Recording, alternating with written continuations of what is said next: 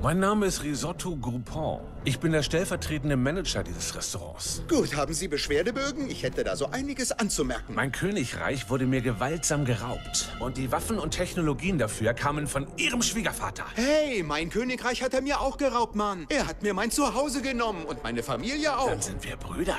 Du fragst dich sicher oft, wie dein Leben ohne Rick gewesen wäre. Na sicher, klar. Aber ich frage mich auch, wie es wäre, wenn ich eine Vagina hätte. Hilfst du mir, ihn zu töten? Was? Nein, er ist der Vater meiner Frau. Themawechsel. Magst du gerne Achterbahn fahren, Jerry?